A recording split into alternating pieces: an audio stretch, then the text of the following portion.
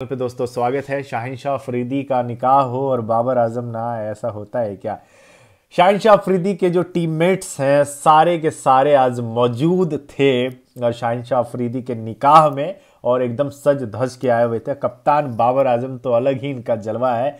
गजब ही जलवा है इस बंदे का और जब आए तो हर कोई इन्हीं की तरफ़ देख रहे थे और सोच रहे थे कि सबका तो कट रहा है, तेरा कब कटेगा? यानी कि बाबर आज़म कब सिंगल से मिंगल होंगे, बाबर आज़म कब शादी करेंगे?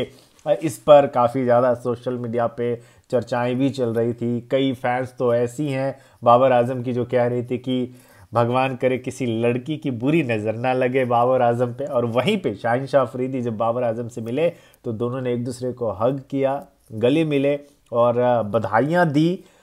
अब कितने पैसे दिए, वो देते हैं ना कुछ जाते जाते तोहफे में देते हैं ना, वो मुझे नहीं पता कि कितना दिए है, नहीं दिए है बट बट हाँ दोनों काफ़ी खुश नज़र आ रहे थे और अपने सारे टीममेट्स जितने भी पाकिस्तान के खिलाड़ी हैं, उनके साथ फ़ोटोशूट भी कराया, गज़ब गज़ब पोज भी दिए और खाना अच्छा खाया, बहुत मस्तियाँ की और शुभकामनाएँ देकर जो है सारे क्रिकेटर्स धीरे धीरे निकल लिए और शाहिन शाह अफरीदी बच गए अनशाह अफरीदी के लिए।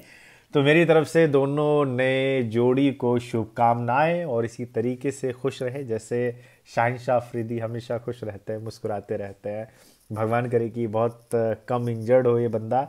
मैं इनको खेलते हुए देखना चाहता हूँ। कमाल की गेंदबाजी करते हैं। आगे पीएसएल है। तेरह फरवरी से होप्स हो कि लाहौर कलंदर्स के लिए अच्छा प्रदर्शन करें। पहली कप्तानी में ही इन्होंने लाहौर कलंदर्स को खिताब जिताया था और लाहौर कलंदर्स के लिए अभी तो कप्तान है और बड़ा नाम भी बन चुके हैं शाहिन शाह अफरीदी तो होप्स हो कि ये पीएसएल सीज़न अच्छा जाए, लेकिन ट्रॉफ़ी जो बात है, ट्रॉफ़ी बाबर आज़म की टीम ही जीते, यानी पेशावर जलमी।